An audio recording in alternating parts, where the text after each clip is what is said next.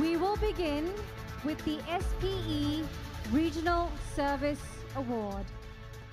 And the award goes to Kunni Nipat Yimyam, Managing Director from PTE Plus. A big round of applause congratulating Kunni Nipat This award acknowledges exceptional contributions to the Society of Petroleum Engineers at the section original level and recognizes singular devotion of time and effort to the programs and developments of the member section and region that sets it apart from services rendered each year by many members of the society.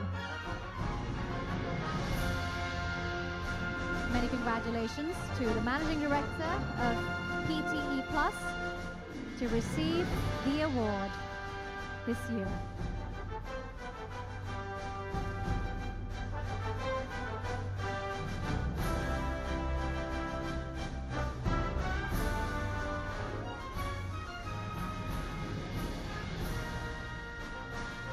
Congratulations, gentlemen.